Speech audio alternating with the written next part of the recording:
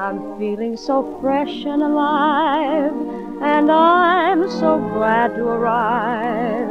It's all so grand. It's easy to see you don't need a palace to feel like Alice in Wonderland.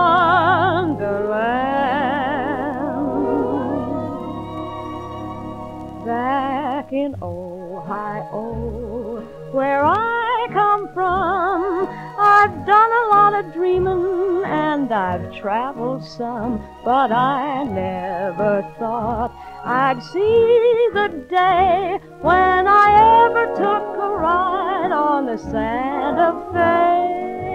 Wanna take a ride on the Santa Fe? I would lean across my windowsill and hear the whistle echoing across the hill. Then I'd watch the lights till they fade away on the Atchison, Topeka, and the Santa Fe. What a thrill! What a great, big, wonderful thrill! With the wheels a singing westward ho, right from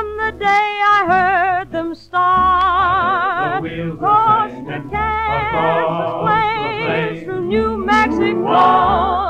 I guess I've got a little gypsy in my heart when I'm old and gray and settled down.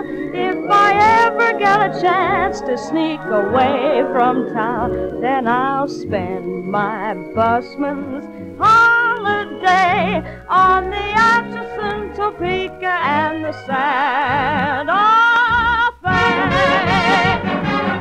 All of them. We came across the country lickety split, going 90 miles an hour, fit to be tied. I can't believe I'm here at last.